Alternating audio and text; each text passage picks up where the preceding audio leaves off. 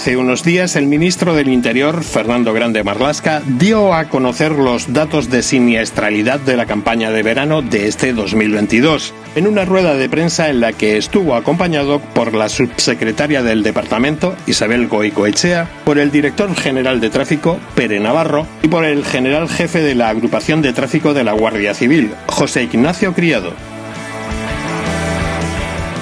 225 personas han fallecido en siniestros viales en las carreteras de nuestro país durante los meses de julio y agosto, con 10 víctimas mortales más que en 2019, año de referencia estadístico, mientras que los desplazamientos han aumentado un 2,42% respecto a dicho verano. Durante los meses de julio y agosto se han producido 93,4 millones de desplazamientos,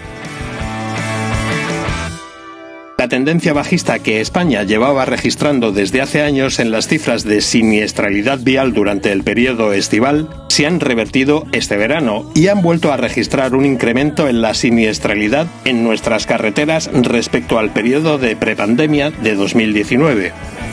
Por tipo de vía, tres de cada cuatro fallecidos lo han hecho en carretera convencional sin separación de sentidos.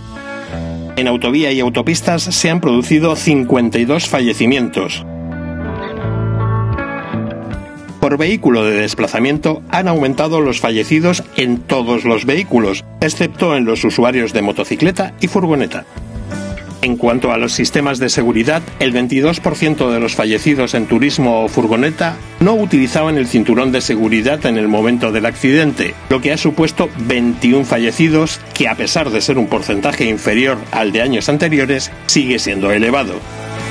Es incomprensible que siga falleciendo gente por no ponerse el cinturón de seguridad o el casco. Tampoco hacían uso del casco dos de los 52 motoristas fallecidos y uno de los siete usuarios de bicicleta. Respecto a los peatones, de los 19 fallecimientos, 8 se han producido en autopista y autovía y 11 en carretera convencional. Además, 15 de los peatones fallecidos lo fueron por la noche o en el crepúsculo. De estos fallecidos, 11 no llevaban prenda reflectante. El descenso de la siniestralidad en los motoristas ha supuesto que el número de usuarios vulnerables fallecidos sobre el total sea de un 41%, el porcentaje más bajo de los últimos cuatro años. Por tipo de siniestro, la salida de vía sigue siendo el siniestro que más víctimas mortales registra, un 40% con 91 fallecimientos, seguida de la colisión frontal con 52 fallecidos.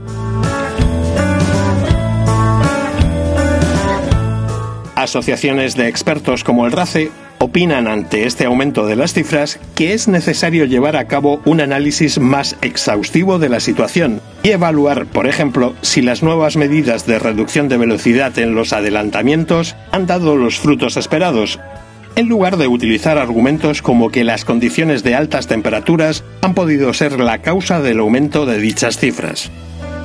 Por otro lado, y tras observar que el 57,9% de los peatones fallecidos murieron en carreteras convencionales, el RACE quiere poner de manifiesto la necesidad de llevar a cabo campañas de concienciación de forma continuada, que recuerden el uso de los elementos reflectantes a los peatones o ciclistas cuando se circula por estas vías con poca luz.